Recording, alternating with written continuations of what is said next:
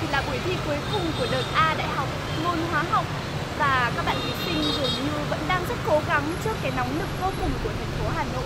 Hãy cùng học trò Online tiếp tục khám phá xem ngày thi cuối cùng của hôm nay như thế nào nhé.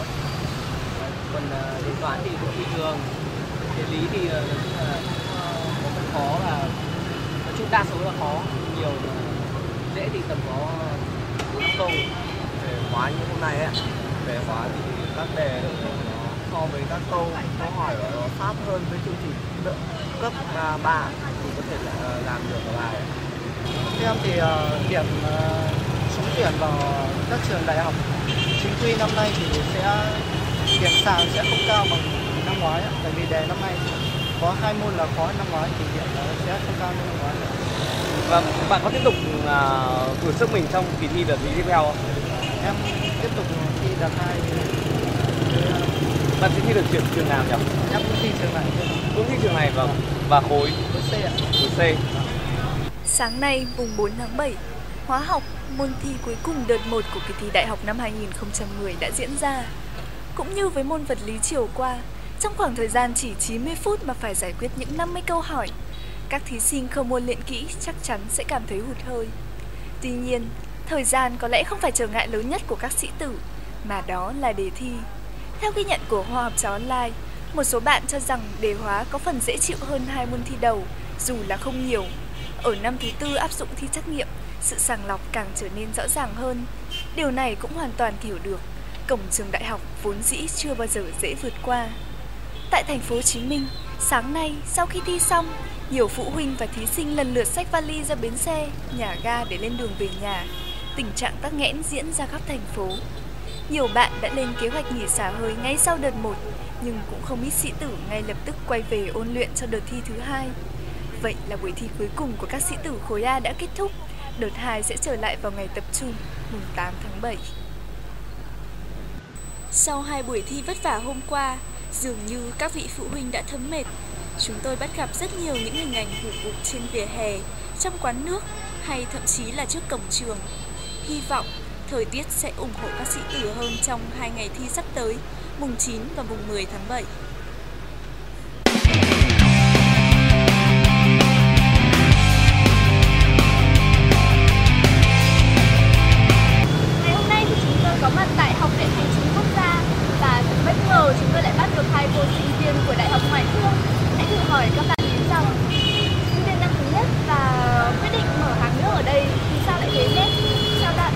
Giới thiệu về bản thân mình được không? Mà mình tên là ờ, ừ, Ly và Trâm Anh này, các bạn cảm giác như thế nào khi mà chỉ một năm trước thôi, cũng vào giờ này, các bạn là một sĩ tử, còn năm nay thì các bạn lại ở đây và quyết định là kinh doanh một cửa hàng nước nho nhỏ. thật ra không khác gì mấy nhưng mà nhìn thấy các em mà cũng vất vả như hồi mình đi thì mình cũng thấy hơi sao chiến bồi hồi một tí với cả thật ra cái việc bán nước này thì ờ, lãi lời thì hơi không nhiều nhưng mà chủ yếu là các bác phụ huynh nói rằng là khi mà trời nóng thì có một hàng nước ở đây bán ý, thì thật sự các bác cảm thấy rất là đỡ khát đỡ mệt và nhất là ở đây thì các bác nói là muốn mua một chai nước hay là sao thì cái suy nghĩ nó cũng chỉ là đơn giản thôi khi em làm thêm vào một ngày Ngày hôm nay thì ở đây bạn chứng kiến các bạn thí sinh đi thi, vậy có gợi lại cho bạn một chút kỷ niệm nào về mùa thi năm trước không? Ừm, năm ngoái thì ờ, mình cũng có nhớ ấy, thì khi mà thi thì là có một trường hợp cũng là buổi sáng thì là không có hay ờ, chắc là ờ, bố con ở tỉnh xa về ấy, thì là đi thi thì buổi sáng thi toán thì bạn ấy chắc là làm bài khá là tốt. Sau đó thì buổi trưa thì ờ, nghe các bác hàng nước nói là hai bố con là cũng hơi phấn khởi một tí và có uống bia ấy. Thì buổi chiều thì hình như là đến muộn ấy và cũng không được vào trường thi nữa và bạn ấy là khóc ở chiều hôm đấy ở trước phòng thi và thực sự phải thấy rất là thương. Và mình cũng rất là muốn là trong năm nay và các năm sau nữa thì không tiếp diễn được cái tình trạng như thế. Vâng, rất cảm ơn Các bạn thấy đấy, vừa ngồi hàng nước có một chất thôi thì hai cô bán hàng nước xinh xắn của chúng ta đã luôn trên vân tay. Và bây giờ chúng tôi chỉ còn lại bạn Trâm Anh để phỏng vấn thôi. Và câu hỏi cuối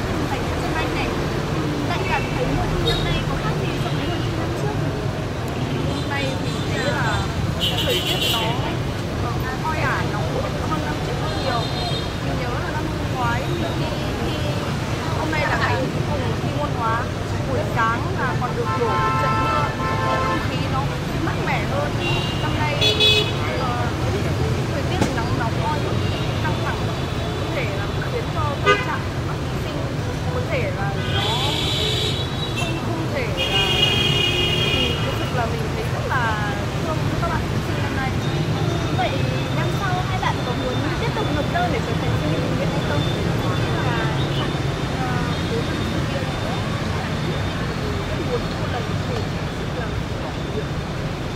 2020 chúc hàng nước của các bạn sẽ thật đông khách các bạn sẽ giúp đỡ được nhiều thí sinh hơn nữa và có thể một trong hai năm nữa thì các bạn sẽ trở thành một sinh viên tình nguyện mặc áo xanh đứng nước cổng trường ngoại thương.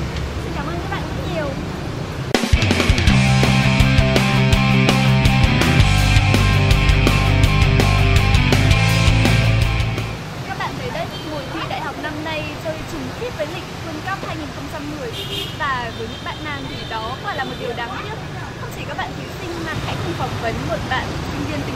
Trai ở đây nhé.